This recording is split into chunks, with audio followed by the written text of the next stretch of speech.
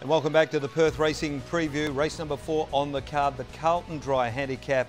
And a pretty good race this over the 2,400 metres. The stayers get a lick at it, and we'll have a look at Cole Seam's last run. Also, the past runs of Upgrade and Action Plan as they fought out that thrilling finish last week. Catch up with Paddy Carberry, and he'll tell us all about Upgrade's great winning run. And also, Alana Sanson's picked up the ride on Action Plan and the Black Pig plenty to get through. A couple of other runners include Marty Rossam. I think you've included quite strongly in your selections this week.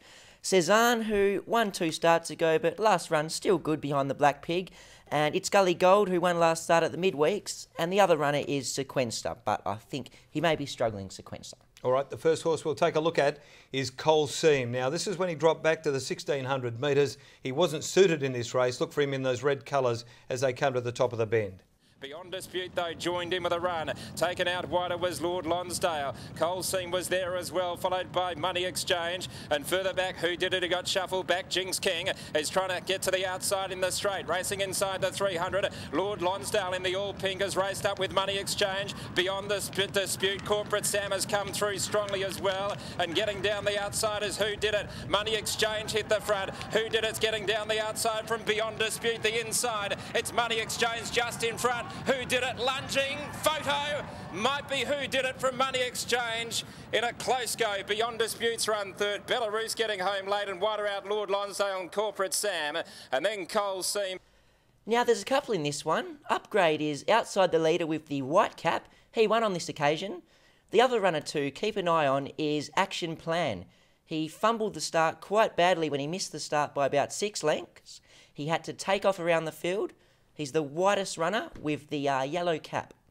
Tightly bunched field is the quartermaster. By golly, they are bunched up coming around the turn. Daney Seed tackled by Upgrade, who headed her shortly after straightening it. Western Force moves up into third place around Blue Hoops into the open, cutting the corner. McCaldico. La Noir tracked them through near the inside. An action plan under the whip down the outside is grinding away at the 200 Upgrade in front though from action plan. Blue Hoops coming between them.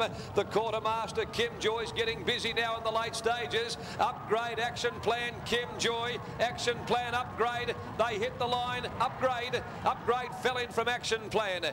I caught up with Upgrade's rider Patrick Carberry during the week, and this is what he had to say. He's won his last two. He's in form. Yeah, he has. Um, you know, he's stepping up to the open class and stepping up an extra 200. I don't think the distance will be a worry, but uh, he's racing against some seasoned horses. Um, he's only just turned four, but uh, he can't can't do any more than win like he has done his last couple of runs. He's up to uh, 57 this week. Barry 4 drawn well. Do you think the weight will worry him? Uh, we carried 57 last start, but I think the class is going to be the difference. Um, stepping up into the open company rather than racing against the special conditions horses, horses like Cole Seam and that.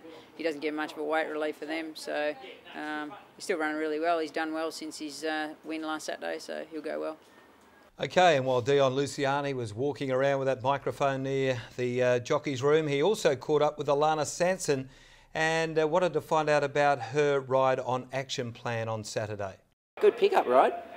Yeah, um, Paul Harvey got off uh, to ride the Black Pig, so which is in a bit of form. Uh, my bloke will go well if he can jump away. It's fair to say he probably should have won both his last two starts. He's got some tricks, doesn't he? Yeah, they have pulled the noseband off this week, so we're hoping he can begin a bit better. Um, if he does, he'll be running on real good, I suppose. The barrier won't worry him, so as long as you can get him out of the gates, I think he'll he'll be a good chance. Yeah, and the small field will suit. If he does happen to miss it, he won't have to go around so many. Now, the last run of the Black Pig. He won on this occasion, ridden by our premier jockey Paul Harvey. He's back running about second last, ridden very patiently on this occasion in the clear. Up behind them, still four off the pace.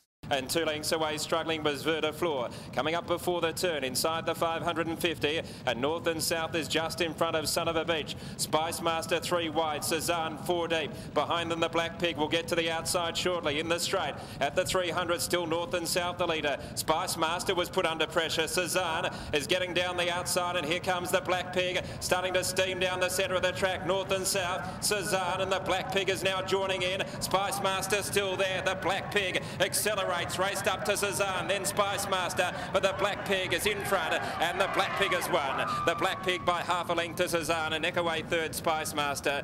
Well, selections in this race, and uh, as you preempted, I've gone outside of the square a touch here with uh, Rossam.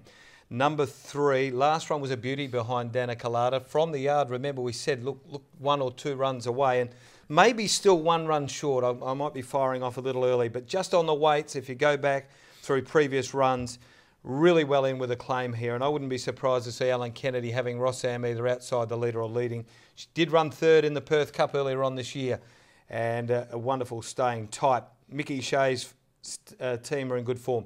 Uh, to beat, four action plan and five the Black Pig. Good race, three, four, and five. Well, here's your favourite apprentice, Alan Kennedy, anyway. Yes, but uh, for me, on top, number five, the Black Pig, to win. It was a good ride last start. And uh, Paul Harvey, new season, I think he's our leading jockey this time round, Marty, and he'll be itching to get the winners on the board. Number two, upgrade to run second he doesn't fit in that well at the weights racing against open class horses for the first time. But uh, he's won his last two and he's in form and he's drawn well, so I can see Upgrade running another good race again. The third horse, number one, Colosseum. Apprentice rider goes on this start with a three kilo claim, which brings him in quite well at 55, uh, Sam. So numbers for me, 5, 2 and 1.